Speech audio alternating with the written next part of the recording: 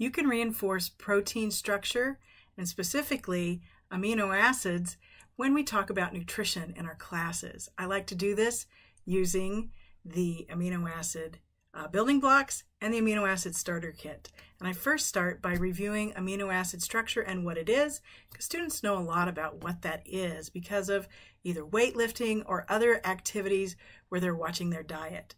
And if you notice, you should see that we have a carboxyl group, we have a carbon backbone, we have an amine group, and then in this model, we just have that pink that forms that R group. And then we can look and analyze the different kinds of R groups using this chemical properties circle.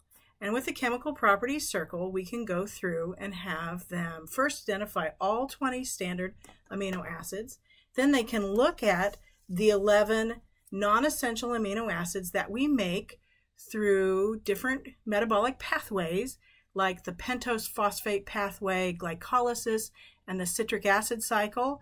And then I can have them sort the nine essential amino acids that we need in our diet. So I give them some time and they sort for those amino acids.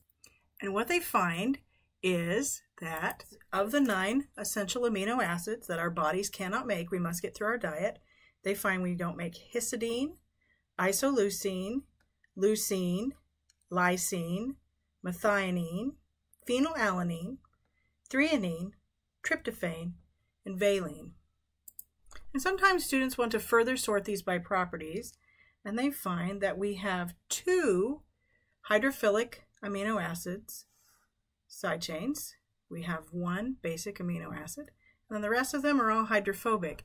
And if we look for patterns among why we might not make these, there really aren't any. So that leads to a discussion where we can talk about uh, what would have caused us to lose the ability to make these amino acids. Did we ever have the ability to make these amino acids?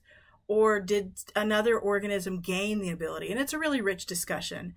That also leads us then to talking about how you can make sure in your diet that you have these amino acids. But you can get these amino acids by eating lean meats like beef, pork, poultry, bison, goat, anything that you would like there. You could also have fish. You can also find it in pulses like uh, lentils, peas, other legumes, beans. It's in tofu. Uh, you can get it in dairy products. It's in nuts and seeds. So it's in a variety of things. So regardless of what you like to eat, you can find some protein in it. You can also find it in whole grains. So Go out and have some essential amino acids. Stay healthy. I'm Ruth Hutson, and until next time, happy modeling.